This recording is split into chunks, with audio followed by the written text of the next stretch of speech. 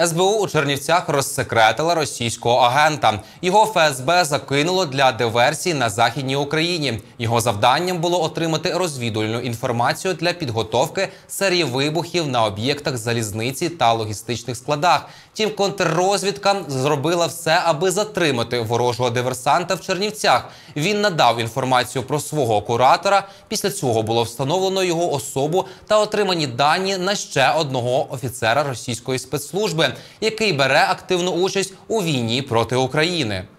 Слідством встановлено, що зловмисник у 2017 році завербував через заблоковану в Україні соціальну мережу ВКонтакті киянина і запросив новоспеченого агента до Російської Федерації. Недовго думаючи, зрадник прибув до свого куратора у Красноярськ та, щоби підтвердити свої наміри про співпрацю, надав інформацію про розташування полку Азов і окремих військовослужбовців.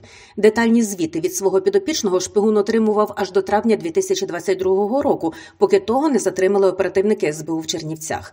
Зрадника громадянина України вже засуджено, а співробітнику ФСБ оголошено про підозру за частиною першої статті 114 шпигунство Кримінального кодексу України.